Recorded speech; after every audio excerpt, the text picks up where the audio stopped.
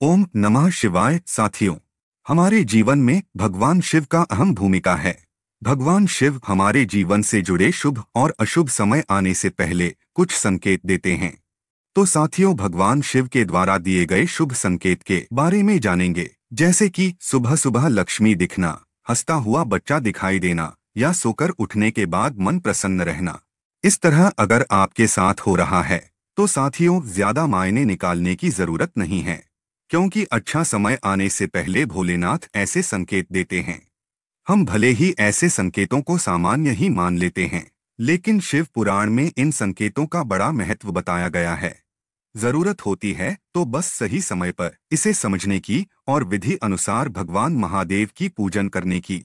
आपको भी कभी इस तरह के संकेत मिलें या ऐसा लगे तो खुद को किस्मत वाला ही समझिए। कई बार हमारे साथ ऐसी कुछ चीज़ें होती है। जिनके माध्यम से भगवान हमें भविष्य की घटनाओं की ओर संकेत देते हैं। लेकिन हम इन संकेतों को समझ पाने में असमर्थ रहते हैं। इसका ये मतलब नहीं है कि हम संकेतों को समझ नहीं सकते हैं। अगर थोड़ा सा प्रयास किया जाए तो भगवान द्वारा दिखाए गए इन संकेतों को आसानी पूर्वक समझा जा सकता है।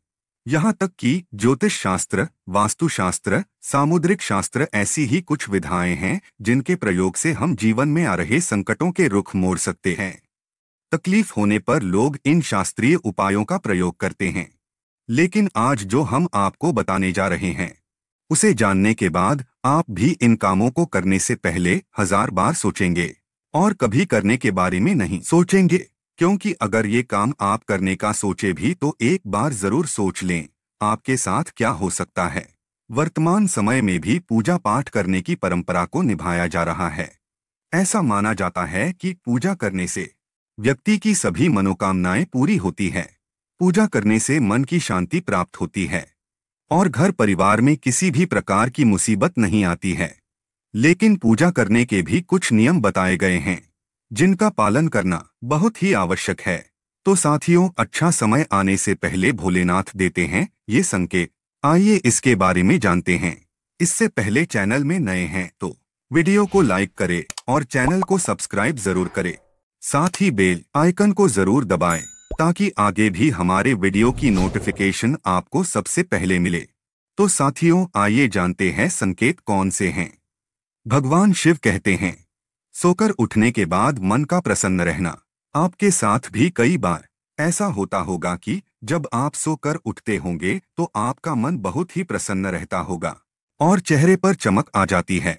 यदि इस तरह के संकेत दिखाई देते हैं तो इस बात का प्रतीक है कि जल्दी ही आपके अच्छे दिन की शुरुआत होने वाली है और सफलता आपके कदम चूमने वाली है। हंसता हुआ बच्चा दिखाई देना।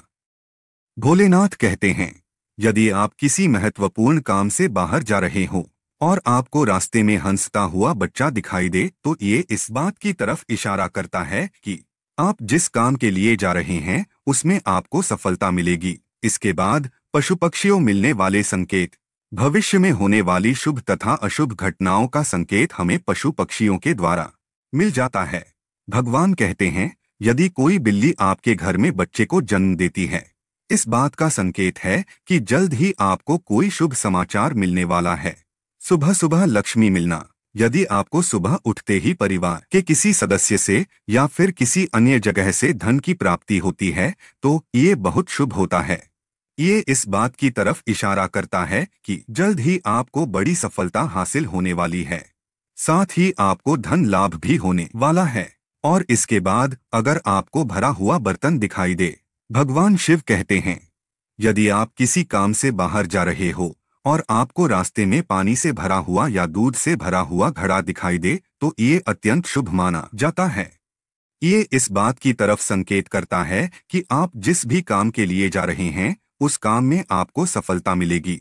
तो साथियों, इस वीडियो में बस इतना ही। वीडियो अच्छी लगी है तो दोस्तों के साथ ज़रूर शेयर करें। मिलते हैं अगली वीडियो में। तब तक के लिए धन्यवाद।